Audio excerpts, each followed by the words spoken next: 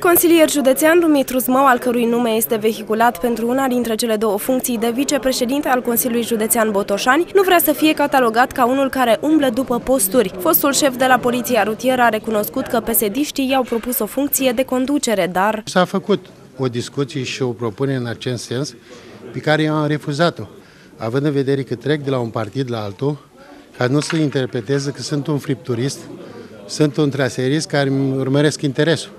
Deci, orice s-ar întâmpla în Partidul Național Liberal, nu mai întorc, am depus adeziunea cu mânuța mea scrisă. Consilierul județean mai spune că a luat decizia de a pleca din PNL pentru că s-a săturat să voteze la ordin.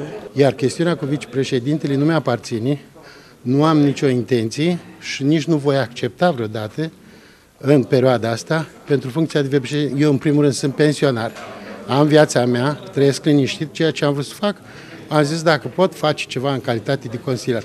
Dacă calitatea asta, consilierii județeni, vor hotărâ să mi-o retragă, nu este chiar nicio problemă. Fostul liberal a mai adăugat că este dispus să jure că nu va accepta un post de vicepreședinte la Consiliul Județean.